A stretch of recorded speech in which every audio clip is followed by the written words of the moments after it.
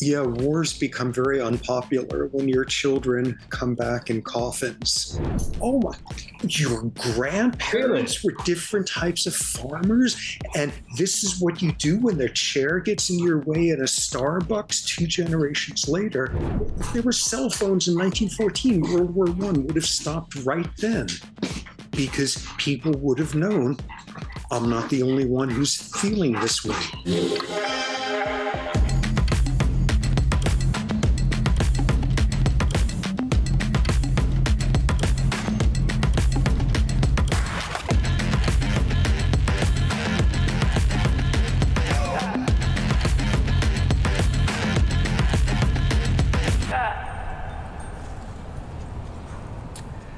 My name is Mikhail Zygar.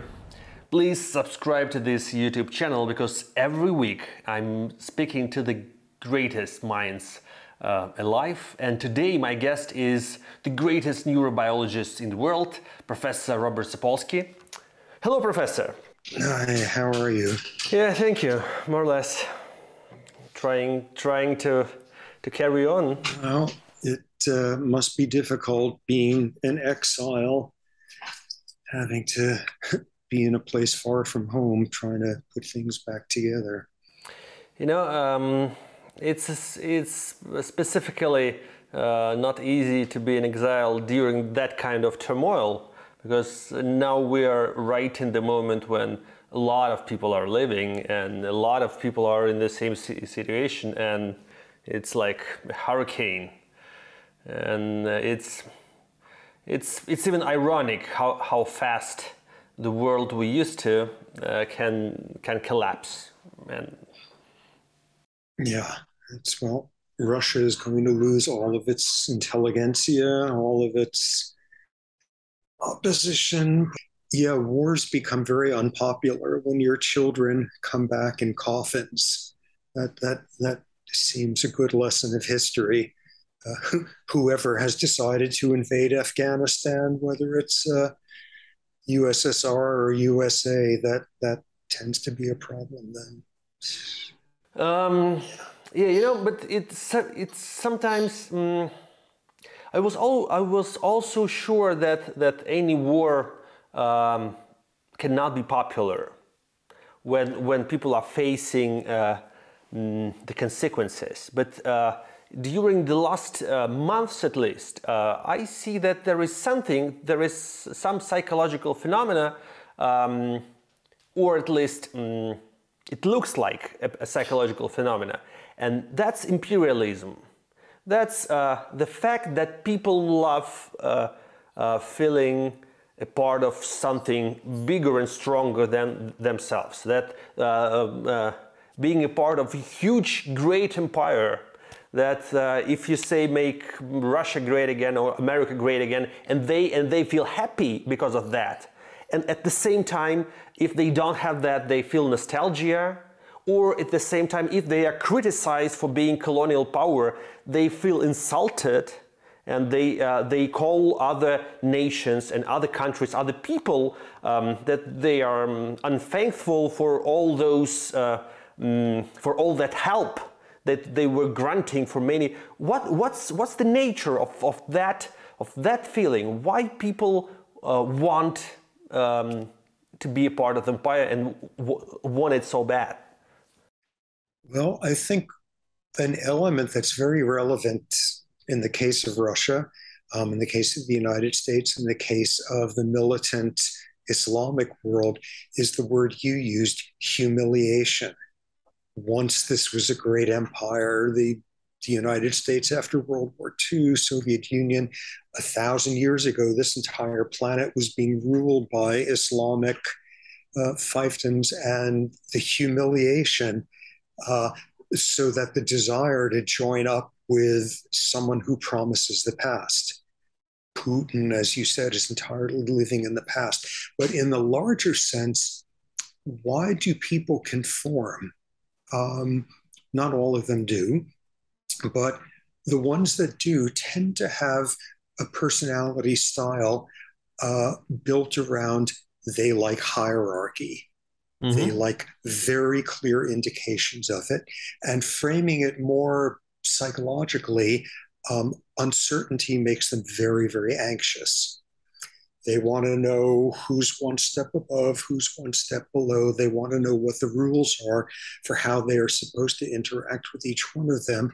And it is uh, people who were made very anxious by uncertainty, by ambiguity, are just attracted to not only conformity, but of the most, you know, totalitarian conformity.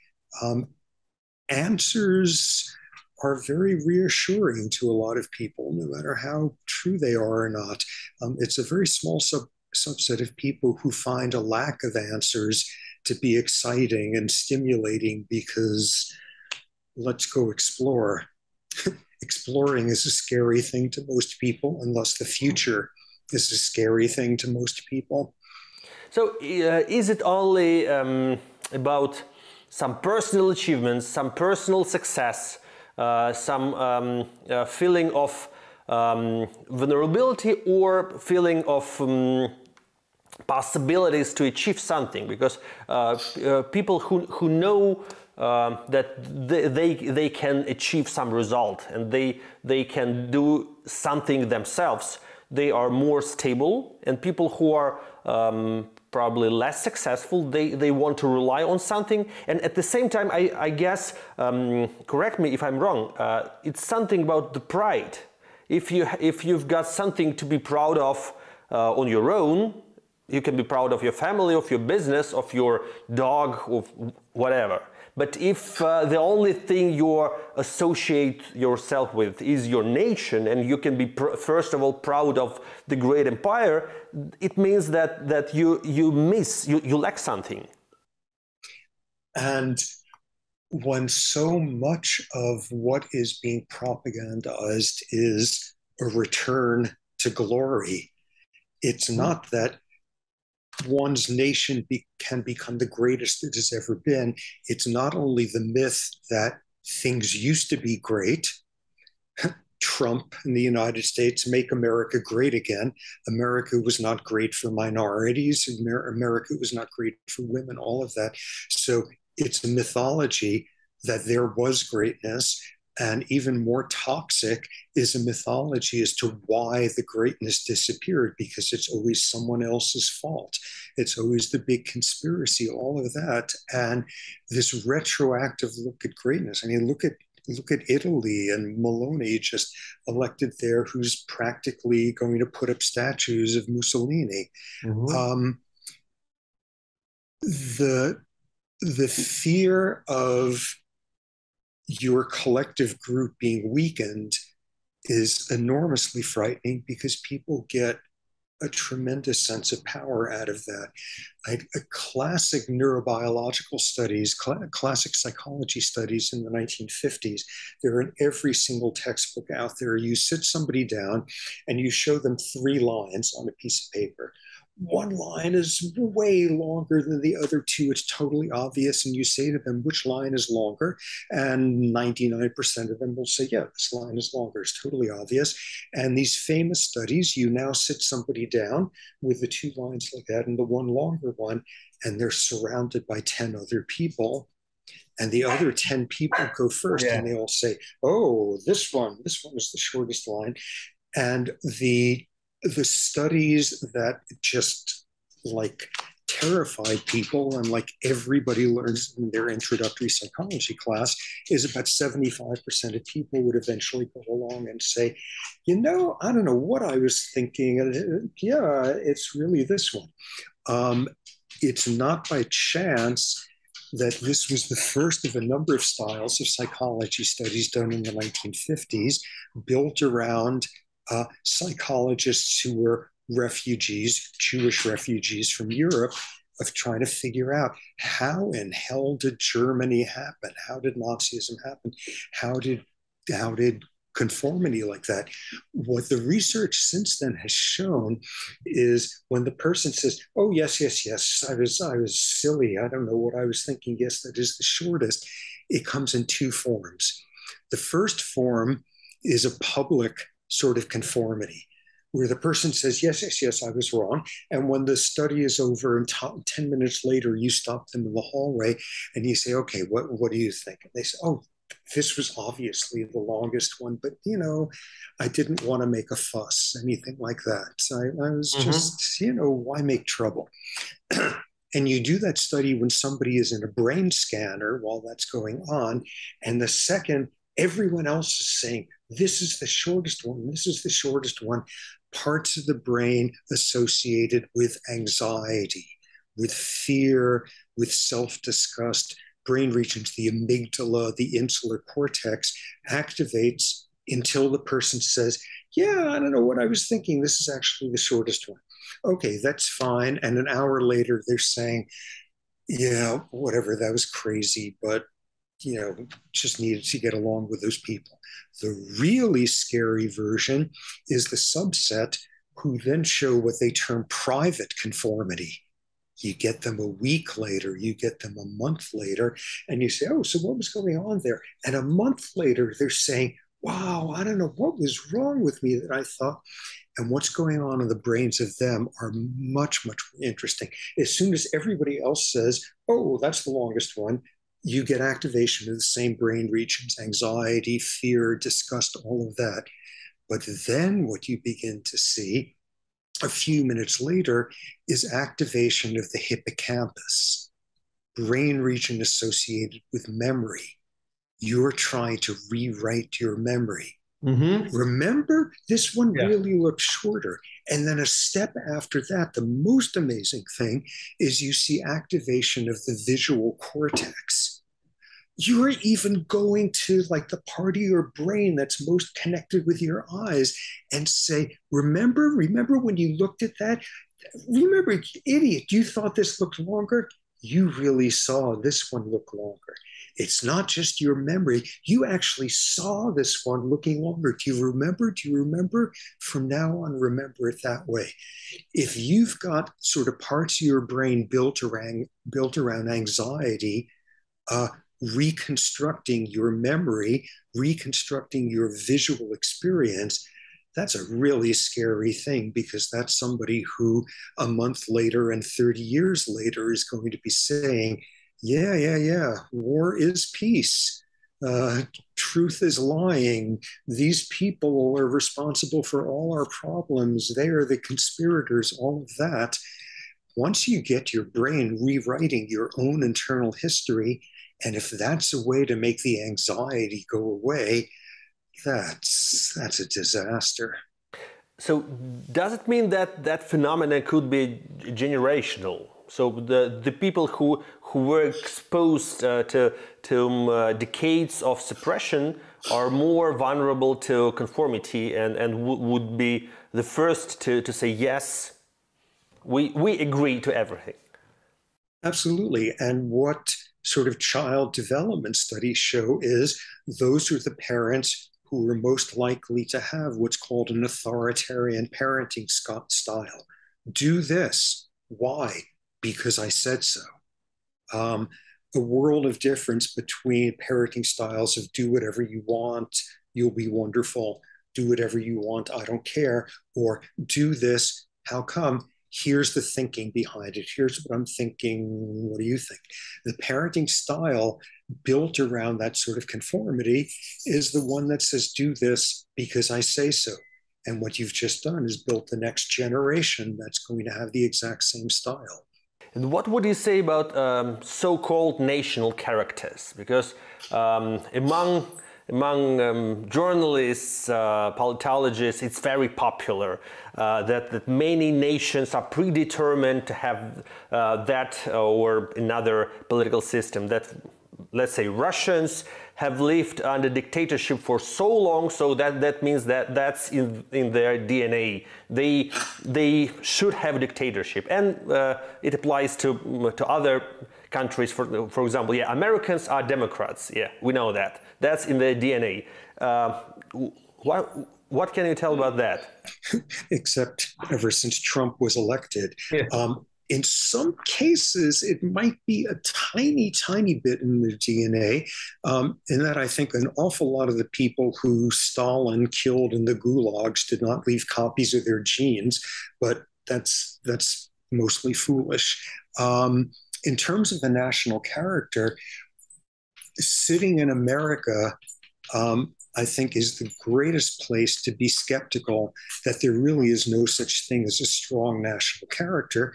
Because in the city that I live, the children in schools speak 70 different languages. Their parents came here.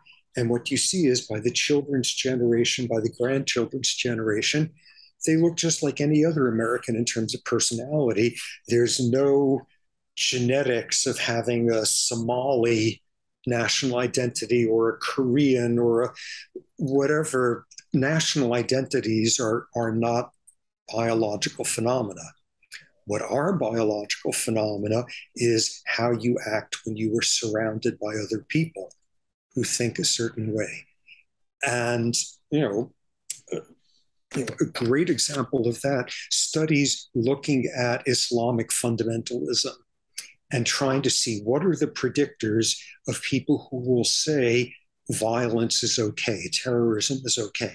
And the easy thing is to say, oh, obviously it's because if they're more religious, if they're more orthodoxly religious, if they're more fundamentalist. So let's see, how often do you pray? How often do you, do you believe this? Do you believe? Those are never predictors. What are the predictors are how often do you do do you do your praying in a mosque surrounded by other people who think the same thing?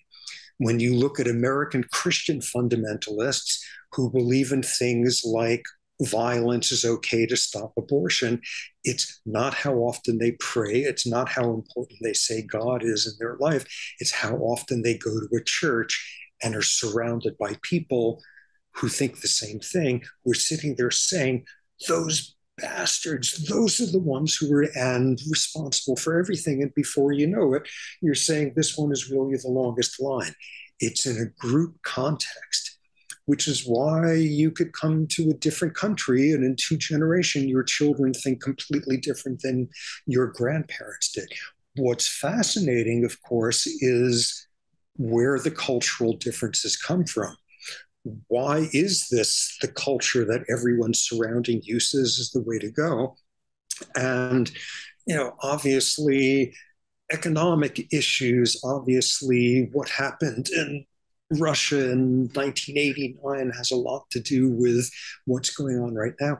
What amazes me is how long lasting some of these are. People who are descendants of people from the desert are more likely to have religions believing in one God. They are more likely to believe that being killed in battle get you, gets you into paradise. The entire planet is dominated by these religions that came out of the deserts in the Middle East. Mm-hmm. People who, who are descendants of rainforest people their religions are more likely to have multiple gods. Mm-hmm. They don't have histories of war, and they have no belief that like warfare gets you into heaven. And they've been being destroyed by the desert monotheists for the last 800 years, which is what colonialism has been. And like how does that? Your great great great grandparents were living in a rainforest in Indonesia versus your great great great grandparents were living in like the Sinai desert, and you have a different culture you were brought up with, is is amazing. Another study, and this has been replicated, looking at different cultures and how xenophobic they are how hostile they are to outsiders, to immigrants, to strangers, all of that. And there's a bunch of predictors economics, homogeneity of language, culture, religion, all of that. But another predictor, it's not a big one, but still a significant predictor, is 500 years ago, how common were infectious diseases in this population? If your culture had a long history of infectious diseases, you did not like outsiders showing up. Mm-hmm. And thus you taught your children. And your children taught their children. And 500 years later, that's one of the significant predictors of how much hostility there is to immigrants. It's a tiny factor, but the fact that that's any factor at all is amazing.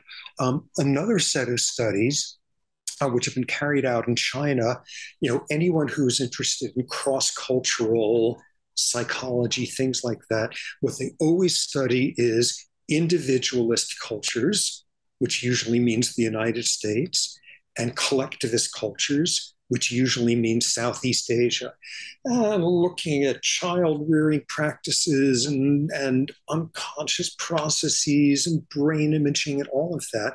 But then someone discovered, interestingly, um, where, where does the collectivist culture come from in Southeast Asia? It's from rice farming. Mm-hmm. Uh, rice farming, because you have to maintain aqueduct systems that are 100 miles long and take 50 villages cooperating along the way to maintain this, and they've been maintaining it for 2,000 years. In addition, um, when it's planting season, the entire village has to show up, and everybody plants this person's land today and that person's land tomorrow and that. And during harvesting, it's this huge collectivist thing. And this group began to study. There's this one area of northern China, it's very mountainous, where what you see instead is wheat, wheat farming. Mm-hmm. And wheat farming is not collectivist. Wheat farming is very individualistic. So they've been studying the populations up there, and those people are just as individualistic as Americans growing up in New York City. And they have they're totally different from the collectivist rice farmers. They have different rates of inventing things and having patents and patent offices. They have higher rates of innovation. They have higher rates of divorce. They've got the same divorce rates in the west. They have all these subtle psychological tests like draw me a diagram of you and the people who matter to you and people from individualist cultures draw themselves in the middle of the diagram and they get the biggest circle. People from like collectivist cultures, they're a little circle the same size as all the others. Maybe they're even smaller and it's off on the side. The wheat growing Chinese, big circle right in the middle, all of that. Um, so this was a great science paper in the journal Science a few years mm-hmm. ago. They did an experiment. They went into Starbucks in China and they set up an experiment where they would push two chairs together, back to back, blocking the way between two tables. And they would see this was a university town, and they would see students coming in. And what you saw was not people who were rice farmers, these university students who were the grandchildren of rice farmers, and university students who were the grandchildren of wheat farmers. The rice farmer kids go towards that and they walk around the table. The wheat farmer ones go up to the two chairs and they pull them apart. Oh my, your grandparents were different types of farmers. And this is what you do when their chair gets in your way at a Starbucks two generations later.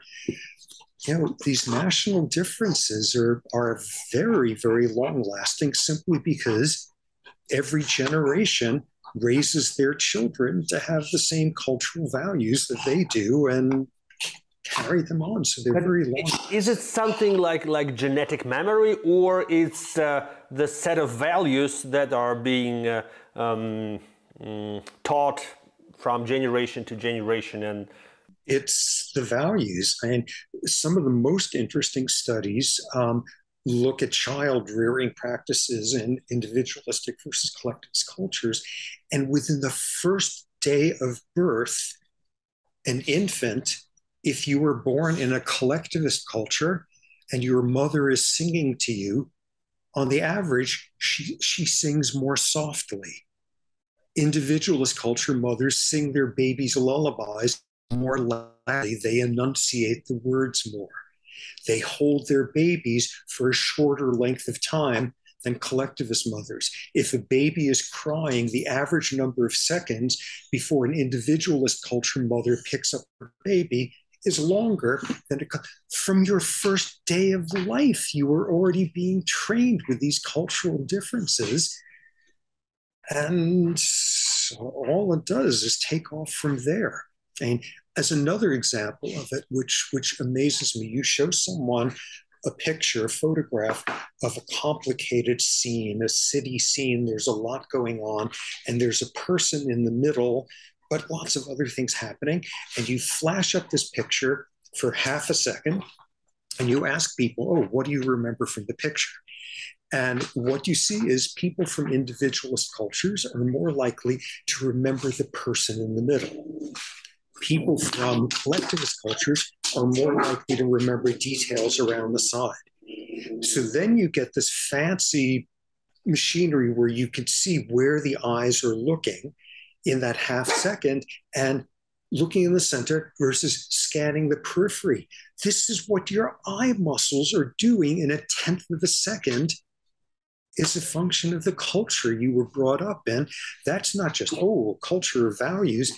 That's constructing a brain that works differently depending on what your parents did to help construct your brain and what their parents did. Uh-oh. the dogs will quiet down. Apologies. So, yeah, and, you know, I'm a neurobiologist. And anytime you sit there and you can look at the ecosystem of this person's great great grandparents has something to do with how their cortex works in a tenth of a second. Whoa, this is really interesting stuff in terms of how long lasting these influences are. Mm-hmm. And what would, uh, um, I'd like to, to ask you about the ability to protest, because uh, um, does it also depend on culture or on some other factors because you know we, we hear a lot of criticism uh, and Russian people are sometimes condemned for not being able to, to stand up against Putin's regime. Um, and we see that in different nations, the ability to protest um, takes dif different peri periods of time. Uh, there are protests in Iran right now, but but actually we know that that Iranian uh, women um, were enduring like uh, 40 years of uh, of that suppression before they they decided to stand up. Uh, what's where is that moment when when the human being is able to stand up and fight for for their rights uh, and uh, cannot tolerate um, the suppression of his of, or her dignity. And what does it depend on? Well one version of it is it takes things getting so bad that finally people have nothing to lose. Uh, the whole idea that all reform does is undercut revolution. If it gets bad enough um, you know being sent into the regime's prisons are no worse than continuing to live in the regime's cities and towns. That's one factor. Another is if there's an event that triggers things, you know, some 20 year old student steps out and shoots the Archduke of Austria Hungary in the chest, and the entire world explodes.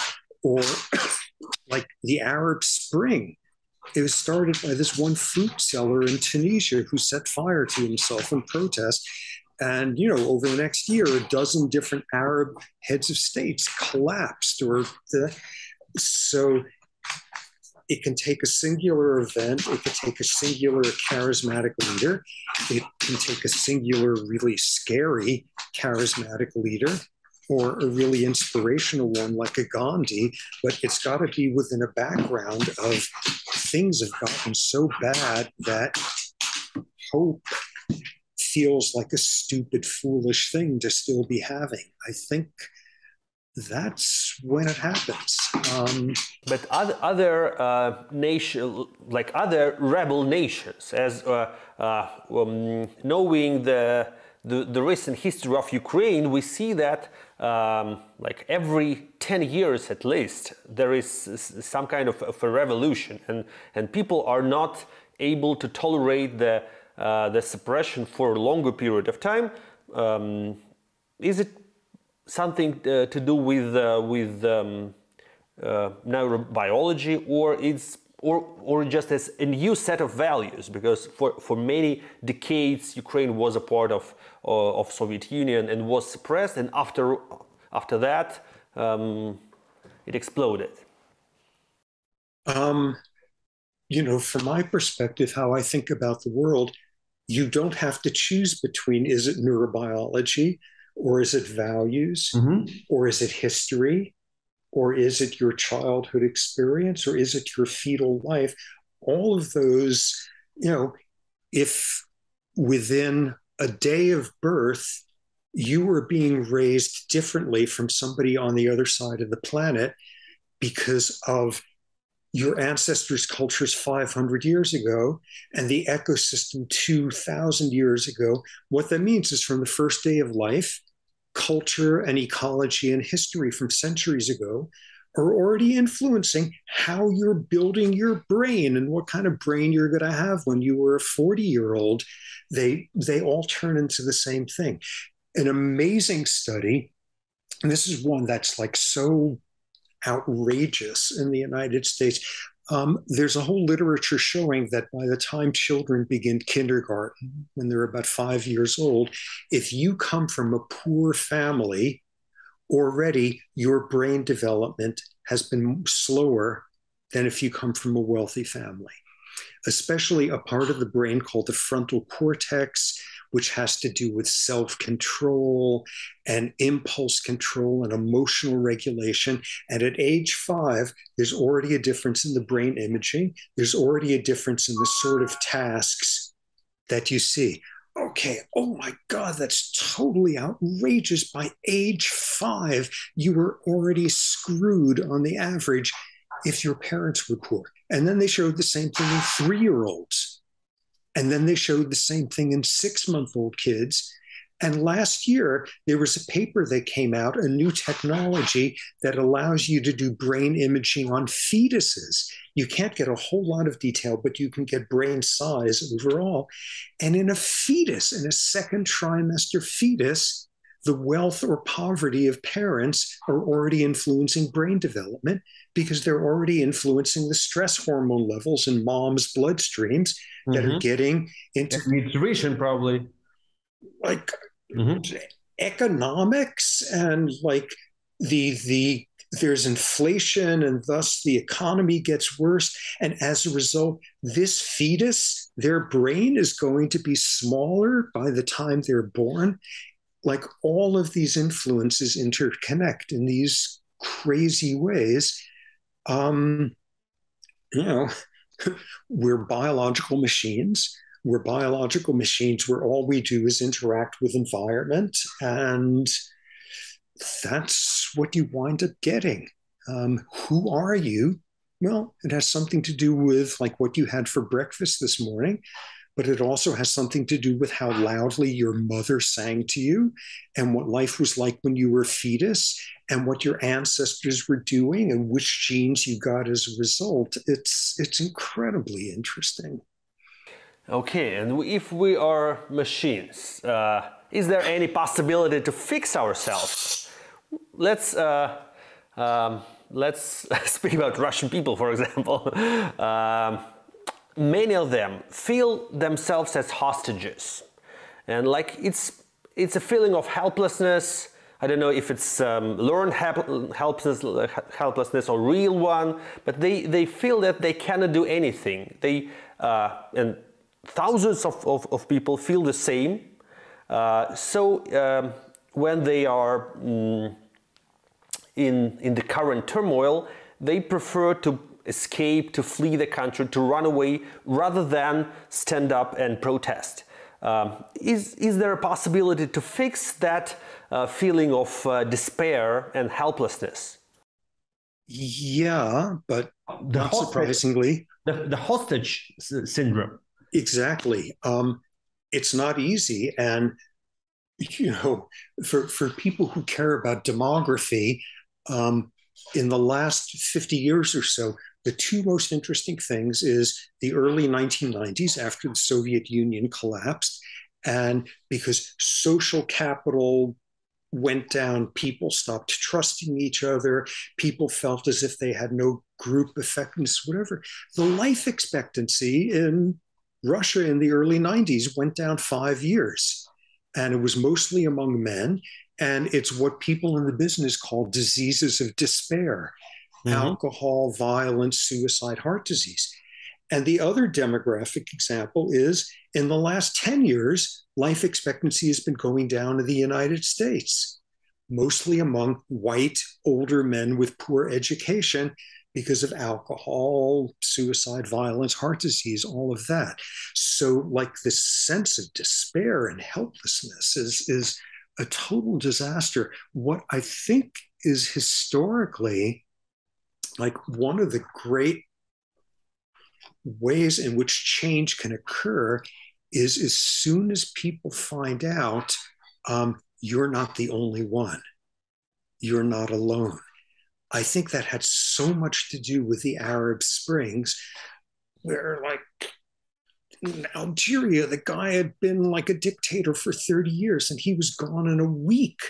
In Romania, Ceausescu disappeared in a week from when the first protests started because of media. You could text 10 friends who would text 10 friends, and half the country would be yeah, but some, know, sometimes it's not sometimes it's not that simple we uh, we have another examples for example belarus with uh, with this dictator named lukashenko and uh, the scenario that happened in belarus looked like exactly like in tunisia or in egypt uh, but it ended up um, in a different way.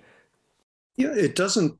It doesn't always succeed. Probably most of the time, it doesn't succeed, and the people who start it wind up having their heads broken in, or spend the rest of their life in exile, or something. And, and desperate, and like like the the the the phenomena of the national psychological trauma, when um, when millions of, of people feel that uh, they were they felt united and they felt that they matter and they, they had an illusion that they can they they are not alone and they can change something but uh, then it's all gone. And like the, that horrible feeling of uh, the the nation united in its despair.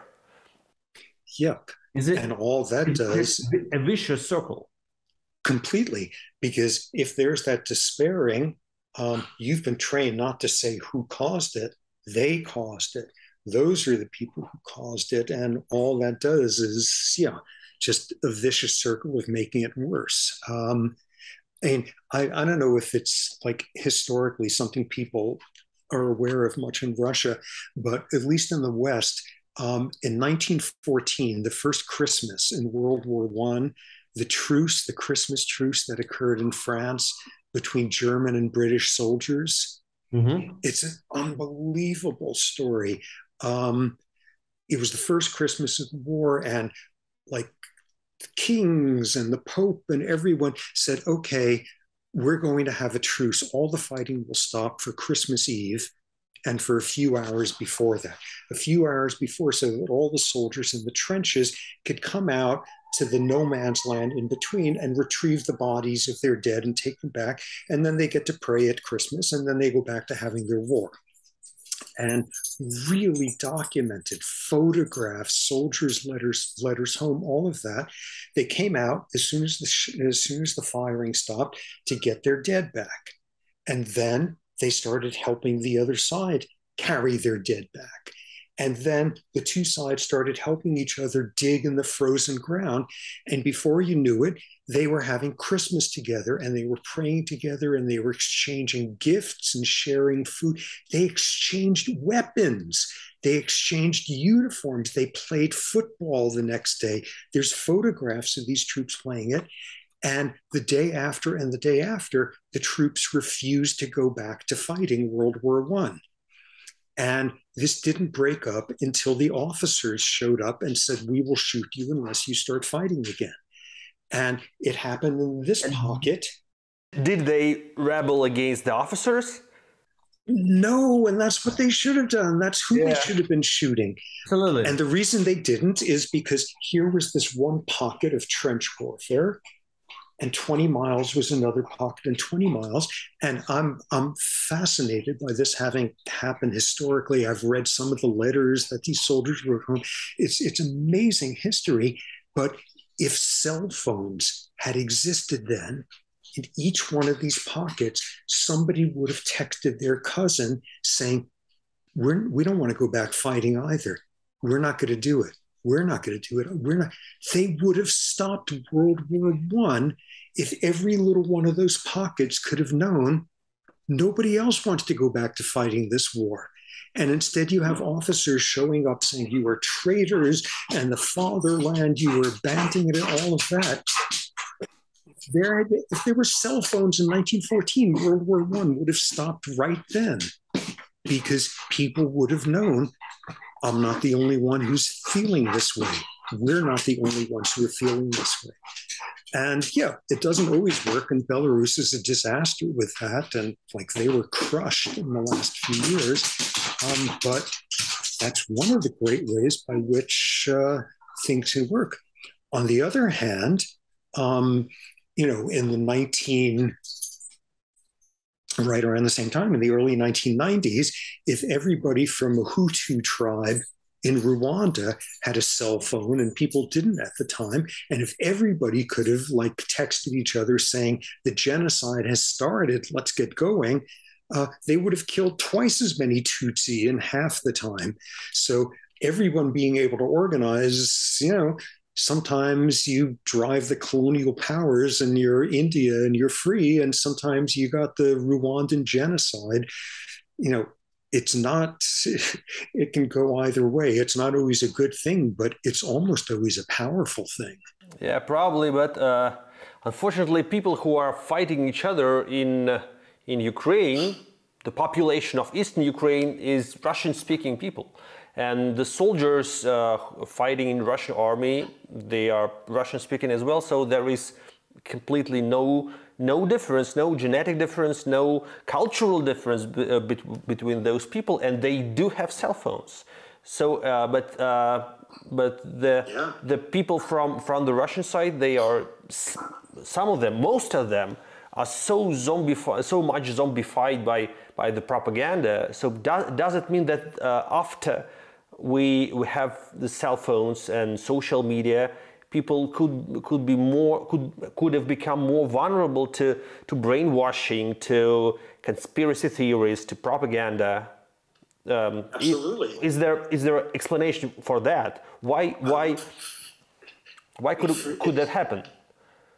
It's the exact same thing.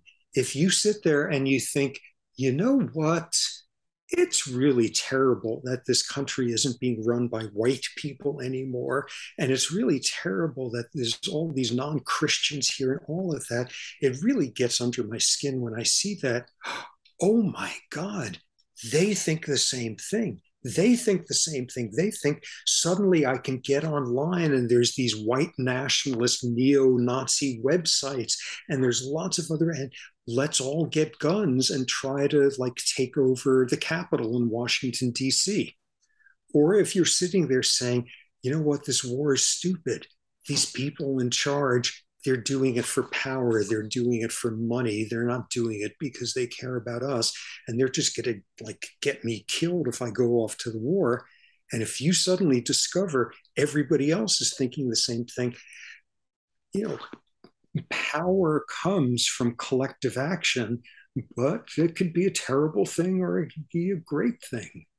And, you know, when a whole bunch of, in the United States at least, when a whole bunch of 60 year old white Christian men who used to have good jobs in factories and no longer do and didn't finish high school, as soon as they can all talk to each other, uh, you get Donald Trump, you get a very scary country because suddenly they all. So collective action is great, but be very careful what collective action you hope for, because uh, it can go it can go either way. Mm, I was impressed a, a lot um, listening to one of your uh, lectures. I, I, I guess when when you describe that war is actually. Um, rather new phenomena to this world. So, and the, the humanity existed for, for thousands of years without um, the necessity to fight each other. Um, until recently, we, we thought that actually the, the, the real age of wars is over. And like in, in 21st century, that bloody wars like we had in 20th, in 20th century are now no longer possible. Um, is, is it just a naive dream or, or um, do you think it's possible uh, for, for, for the population, for the humanity to, um, to achieve that, um, uh, those values or those uh, um, ways of thinking of collective thinking, probably to um, uh, to stop admiring violence, to stop glorify, uh, uh, glorifying violence, to stop um, glorifying wars and war heroes and war criminals as well. Yeah. Um, you know, it can change. I saw that you interviewed Steven Pinker, who's wonderful and he's such an interesting guy and like he's so smart and such a good writer and i happen to completely disagree with him about this issue of when did warfare start he's mm-hmm. from one camp that says it's 2 million years old other camp that says it was invented 10,000 years ago with agriculture. And I think that's absolutely the case. And when you really look at the data, and in his book, The Better Angels of Our Nature, he did some some things with his numbers there that kind of made his his hypothesis a lot stronger than it actually was. But nonetheless, um, he thinks what has made the world a more peaceful place and a wonderful place is the Enlightenment, Western European Christian culture over the last 500 years. That's why it's a better planet. I wonder what he's been thinking in the last seven months since Russia went into Ukraine. And ooh, the great peace, the great peace after World War II. Some of it also was the Great Peace because the great powers learned something after World War II, which is get somebody else to fight your war for you. And I remember a period, uh, some of my work, I, have worked on and off in East Africa for 30 years. And there was a period where Ethiopia and Somalia were at war with each other. And Ethiopia had a Marxist government, and Somalia was Western oriented capitalists. And these guys had Soviet weapons, and these guys had American weapons. And there were a couple of revolutions. And five years later, it was the opposite direction. And now they had the Soviet weapons. And like who cares as long as the country is willing to go along with us with votes in the UN and we can whatever we'll send the guns to you we'll send the guns to you. It's not our kids who are getting killed. So pinker ignores the whole invention of you know franchising out your your wars elsewhere. But ukraine now even doesn't that myth. Here's tanks in europe crossing borders again, like people like him were saying, this will never happen again. Ooh, European Union, we've learned about all the economic advantages, how great it is to have open borders. And yeah, it's 70 years ago all over again. So, like, not a whole lot necessarily changes really long term. But then you get amazing examples. The one I love is like Sweden in like 1800, the Swedes were like the most crazy, violent, badass people in all of Europe. And like Peter the Great, all he was doing was trying to like contain the Swedes. And they got completely trounced in a couple of wars over the next few decades. And in effect, they sat there as a country and said, you know what? We're not actually very big and like all of our 18 year olds are getting killed and we're not harvesting our crops because we keep trying to like annex poland and make it part of the swedish empire. And this is stupid. Let's stop doing this. And the swedes became the swedes with their like uh, with the swedish economic experiment. And it's like Scandinavia is the best place on earth to live now. That means, I'm sorry, that means that the national character we've been um, talking about can change. And as we saw um, Germans for example, uh, during the, the First and Second World War were um, considered to be mm, rather brutal, uh, but the, that kind of genetic memory can, can go not only to the negative direction, but to the positive direction as well. And there you have Germany being the ones, you know, welcoming in immigrants more than any other EU country because we know what our grandparents did. When we were little, we found out what happened in the 1930s and the 1940s. And even though we didn't do it, we still feel the weight of this. Yeah, absolutely, it could change in that sense. That, does it mean that the, the military defeat can change not only the social texture, but also some um, some um, biological uh, um, elements. Uh, some like pe pe people can can genetically change. Well, I don't think so much genetically because again, you know, genes actually don't have a whole lot to do with behavior or genes by themselves. People mm-hmm. people have way too much faith in how powerful genes are. But what you see are commonalities. In 1800, maybe if you were a Swede and you had a biological makeup where you were very into hierarchy and very into that, what you were proud of being as a Swede is we just defeated Peter the Great in some battle, or we just annexed Poland and all of that, and we're great. And it could be the same exact biology and somebody with the same liking for hierarchy or whatever who sits there now and says, Sweden, we're the best. We've got the lowest infant mortality rate in the world. Like what form the chauvinism takes, it can go in completely different directions. A great example of this um, when Nelson Mandela was first let out of prison, um, and he was negotiating secretly with the South African government. This was before independence, but where everybody was saying, you know what, in about a year or so, this is going to be a black ruled country. You're going to be in charge of it. Here, let's start figuring out how this is going to happen. And one of the most important things Mandela did was negotiate with this Afrikaans general who was a leader of this right wing white militia. And mm-hmm. he had 80,000 Afrikaans farmers with guns and whether or not there was going to be a civil war afterward was pretty much in his hands. And this was a guy who had killed a lot of people, and somehow he and Mandela got along, and it and he Mandela convinced him form a party, form a political party, and you will lead the opposition. And every time we do something you hate, you get to have it in the front page of your newspapers. And somehow he convinced the guy who set up the meeting between Mandela and this brutal, murderous monster of this, like his brother, the guy's twin brother, who was a Protestant minister who had been a leader of the anti apartheid movement for 30 years.